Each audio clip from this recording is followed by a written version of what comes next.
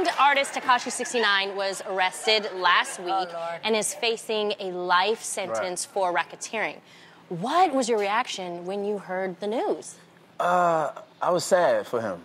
You know, uh, that that's something that's very serious. You know, especially when you have a budding career that could be so promising. Yeah. Uh-huh. I just look at it as a, a message to the youth out there and everybody aspiring to be somebody. When you have a chance to like attain that, I think sometimes people focus on you know where you're from versus more so than where you're going.